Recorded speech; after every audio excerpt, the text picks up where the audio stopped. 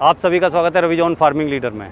मैं रवि त्यागी आपका host and दोस्त। मेरे सभी बुज़ुर्ग और किसान साथियों को मेरा राम राम। तो किसान साथियों आज हम दिखाएँगे नए तरीके का पंखा जो हमारा मूंजी और धान बरसाने के काम आता है। तो चलिए देखते हैं। भुला दे डर। भुला दे डर। कुछ अलग कर। कुछ अलग कर। किसान साथियों हमारे चैनल को सब्सक्राइब करें और घंटी के बटन को ज़रूर दबाएँ।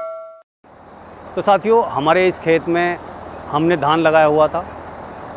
उसे काटने के बाद हमने जो है मुट्ठे एक जगह रख, जो हमारे साथ काम करने वाले लोग हैं, उन्होंने जो है बुग्गी में मार मार के उसे झाड़ा और झाड़ने के बाद उसकी ये ढेरी लग गई है। लेकिन आप देख सकते हैं, इसमें टूट के बहुत ज़्यादा कबाड़ा और इसमें जो है बट और वो बहुत ही, अभी बहुत सारा गंदा है ये।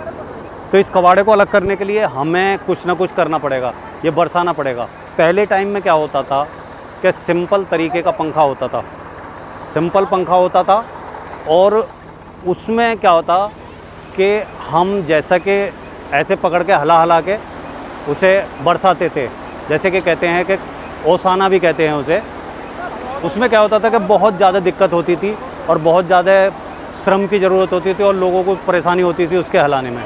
लेकिन अब जो ये नए प्रकार का ये पंखा है हमारा, इसमें क्या है कि तासले बस केवल भरने वाले हैं, बट डाल देना है एक बार।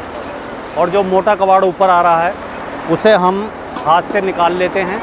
बाकी आप देख सकते हैं कि नीचे जो है, हमारा जो धान है, हमारी जो मुंजी है, वो कितनी साफ़ है एकदम। और जो भी कबाड़ा है, वो थोड़ा ऊपर रुक जाता है या एकदम से बाहर निकल जाता है। ये कपलिंग सिस्टम है, ट्रैक्टर से लगा हुआ है, आप देख सकते हैं इसका सिस्टम। बहुत ही अच्छा जुगाड़ है ये, क्योंकि ये जो चलना है, ये जो चल रहा है, चलने के ऊपर डालते हैं। पहले चलना नहीं था, खाली ओनली पंखा पंखा होता था तो वो हलाना पड़ता था तो उसमें बहुत दिक्कत थी। पहले जो काम दो घंटे में होना है, आज वो काम इसमें आधा घंटा भी नहीं लगता, उसमें निमट जाता है। तो किसान साथियों, आप देख रहे हैं चलना। इसमें श्रम जो है, मेहनत भी बहुत कम लग रही है। दूसरा क्या है कि जैसे हम इसमें डालते हैं तासला भर के धान तो वो बराबर नीचे हलता है और बराबर ही गिरता है। और जब हम पहले हाथ से हलाते थे ऐसे तो क्या होता, कभी ज़्यादा गिर रहा है, जब कभी कम गिर रहा है तो उससे कबाड़ा उसके साथ दब के नीचे चला जाता था। तो उतनी सफ़ाई नहीं हो पाती थी। आप देख सकते हैं, बिल्कुल बराबर नीचे आ रहा है और कूड़ा जो है, हमारा जो कचरा है, वो सब एकदम पूरी तरह साफ़ होकर एकदम निकला हुआ है। तो साथियों, अब काम तो आपने देख लिया, इसका इतना अच्छा काम है, लेकिन इसका दाम। बात आती है दाम के ऊपर भी। तो भाई लोगों, हम इसे सत्रह हज़ार रुपये का लेके आए हैं और बहुत ही अच्छा काम कर रहा है।